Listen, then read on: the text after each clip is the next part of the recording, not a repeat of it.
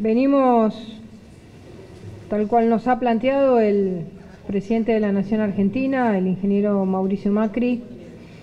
en esta decisión de la lucha contra el narcotráfico, a expresar nuestra eh, gran satisfacción de tener hoy para informar a, a la prensa y a los ciudadanos el operativo más grande de cocaína en la historia de la provincia de Santiago del Estero. Un trabajo de inteligencia de la Gendarmería Nacional eh, a la espera de, los aviones que hacen el tipo de, trabajo que se llama bombardeo. No bajan nunca, van con GPS,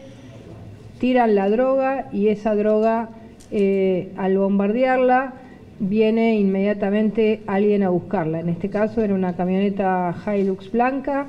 que inmediatamente fue seguida por un helicóptero de la Gendarmería Nacional Argentina